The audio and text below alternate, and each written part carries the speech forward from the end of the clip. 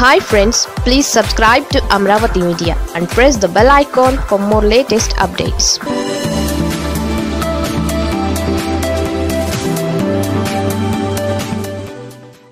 Visakhapatnam పిలుస్తోంది. Queue కట్టేస్తున్నారు నేతలు. విశాఖ అందమైన సిటీ అని వేరేగా చెప్పాల్సిన అవసరం లేదు. సిటీ ఆఫ్ డెస్టినీ అని అంటారు.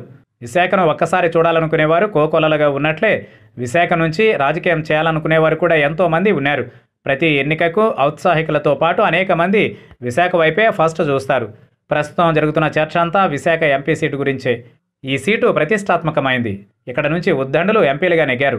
ఢిల్లీలో అనేక కీలకమైన పదవులు చేపట్టారు.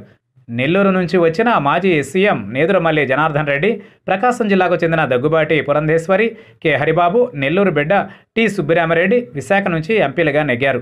రెండు వేల పంతొమ్మిదిలో పశ్చిమ గోదావరి జిల్లాకు చెందిన ఎంవివి సత్యనారాయణ ఎంపీ అయ్యారు.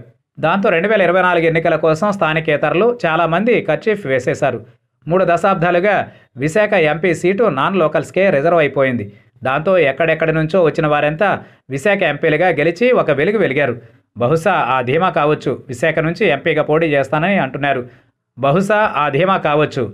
విశాఖ నుంచి ఎంపీగా పోటీ చేస్తానంటున్నారు అనంతపురం జిల్లాకు చెందిన మాజీ జేడీ లక్ష్మీనారాయణ. ఆయన దేశంలో అనేక రాష్ట్రాల్లో పనిచేశారు. ఆయనకు పాపులారిటీ ఉంది. రాజ్యాంగం ప్రకారం ఎక్కడైనా పోటీ చేయవచ్చు. అందుకే ఆయన రెండు వేల పంతొమ్మిది ఎన్నికలలో విశాఖ నుంచి పోటీ చేసి మంచి ఓట్లు తెచ్చుకున్నారు.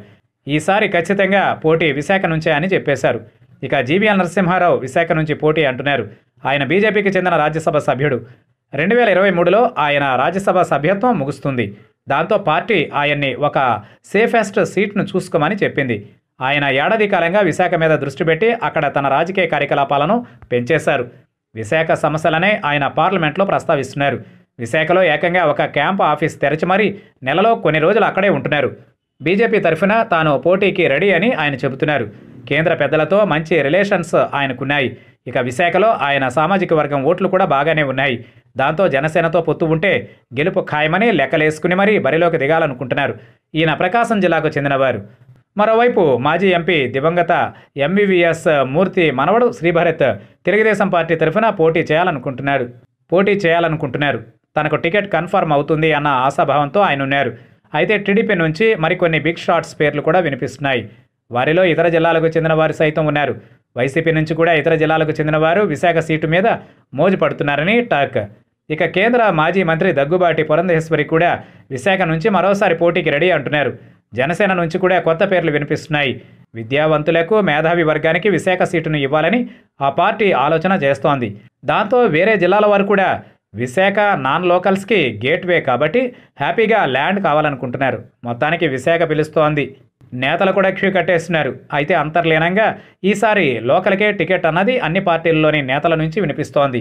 అయితే దీనిని ఆయా పార్టీల పెద్దలు ఎంతవరకు పట్టించుకుంటారన్నది చూడాల్సి ఉంది. ప్రతి ఎన్నికలోనూ ఇదే విధమైన నినాదం వస్తుంది కాబట్టి లైట్ తీసుకున్నా తీసుకుంటారని అంటున్నారు. సో విశాఖ మాత్రం పొలిటికల్ లీడర్స్కి ఇప్పుడు హాట్ ఫేవరెట్గా ఉంది అని చెప్పాల్సిందే.